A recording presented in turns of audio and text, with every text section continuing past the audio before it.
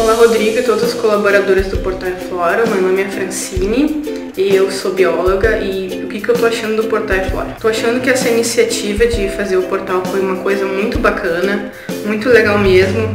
Lá a gente encontra muito conteúdo valioso, a gente encontra uh, muitos cursos legais, uh, conteúdos, livros para baixar, artigos interessantes.